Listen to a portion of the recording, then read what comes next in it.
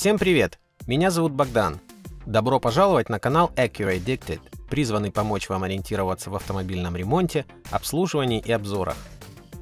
В четвертом выпуске второго сезона проекта «Вернем Акуре былое величие» я покажу вам, как избавиться от неприятного запаха в салоне при включении кондиционера. Как обычно, ссылка на английскую версию в описании. Поехали!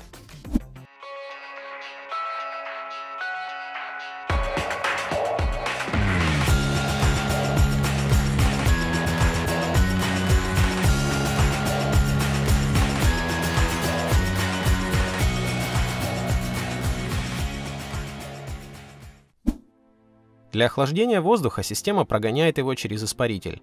Из-за того, что теплый воздух охлаждается, на испарителе возникает конденсат, который вытекает через дренажную трубку на землю.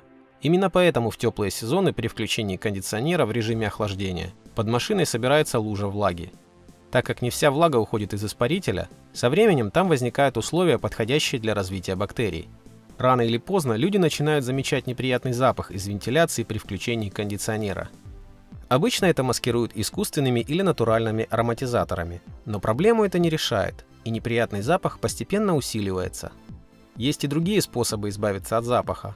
Например, одноразовый аэрозоль, который проникает во все вентиляционные пути и на время действительно избавляет от запаха, но ненадолго. Для того, чтобы избавиться от запаха надолго, необходимо нейтрализовать его источник. В основном это бактерии и даже плесень в испарителе. Существуют специально созданные для этой цели средства. Сегодня я воспользуюсь одним из них. Это пенообразующий аэрозоль. Рекомендуется использовать этот продукт через дренаж испарителя. Это видео снято для автомобиля Acura MDX 2008 года Техно, которая является вторым поколением MDX. Поэтому оно подойдет и для моделей с 2007 по 2013 годы, а также для практически любого другого автомобиля, так как системы кондиционирования почти везде одинаковые. Это довольно простая процедура, которая должна занять примерно от 15 до 20 минут. При этом вам не понадобится каких-либо инструментов. Единственное, что вам потребуется – контейнер для утилизации дренажной жидкости после обработки. Также после этой процедуры я рекомендую заменить фильтр салона. Обычно я его меняю каждые полгода. Ссылки на все, чем я пользуюсь, в описании. Приступим. Дренаж основного испарителя расположен в MDX в районе перегородки моторного отсека. Если вы не уверены в расположении дренажа, достаточно завести двигатель, включить кондиционер в режим охлаждения и дождаться вытекания конденсата, что и укажет на дренаж. Выключите зажигание и вставьте пластиковый шланг удлинитель из комплекта средства по очистке в дренажную трубку и проталкивайте его до тех пор, пока он не упрется в испаритель. Встряхните флакон со средством и опустошите его содержимое в испаритель.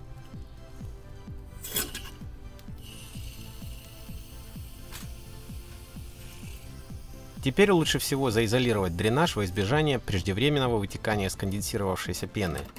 Подставьте контейнер для утилизации под дренаж. Для обработки пеной достаточно 15 минут, после чего заведите двигатель, установите вентилятор на самое нижнее значение, отключите кондиционер, оставьте только вентиляцию и дайте поработать около 5 минут, пока весь конденсат не вытечет через дренаж. В случае, если жидкость чрезвычайно темная, Возможно, вам понадобится еще один флакон для обработки, чтобы убедиться, что вы очистили испаритель полностью. После очистки запах должен уйти полностью, и в салоне будет пахнуть свежестью. Обычно этой процедуры хватает надолго. Впредь, во избежание скорого возвращения запаха, рекомендую по возможности выключать кондиционер за 3-5 минут до окончания поездок, оставляя лишь вентилятор для полного избавления от конденсата из испарителя. Теперь можно заменить и салонный фильтр. Откройте бардачок освободите его от вещей, снимите вот эту заглушку, отодвиньте направляющую, слегка надавите по обеим сторонам выдвижного ящика и опустите его до предела вниз. Вот и фильтр. Надавите на зажимы по обеим сторонам крепления фильтра и вытащите его. Как видно, он достаточно загрязнен. Вытащим сам фильтр и избавимся от него. А вот и новый фильтр. Установим его в крепление таким же образом, как и старый. На пластиковом креплении вы увидите две стрелки, указывающие направление воздуха. При установке нового фильтра убедитесь, что направление совпадает с указанным на фильтре. Вставим фильтр в посадочное место, защелкнув зажимы.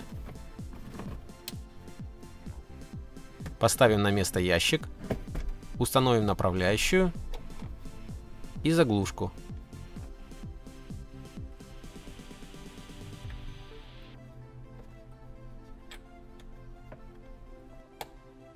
Теперь вернем на место вещи и закроем бардачок.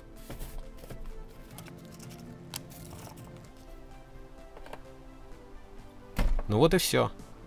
Жду вашей оценки ролика и комментариев внизу с вашим мнением. Подписывайтесь на канал и включайте уведомления, чтобы смотреть больше таких роликов. На этом все.